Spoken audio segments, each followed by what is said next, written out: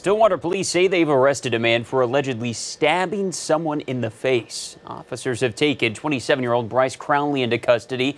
Officials say officers were called to a Walmart just after 7 this morning. When officers got to the scene, they found a victim with stab wounds to his face. Victim telling officers it was Crowley who had stabbed him. With the help of Stillwater Emergency Management and their drone, officers able to find Crowley here in a wooded area next to the Walmart and arrest him.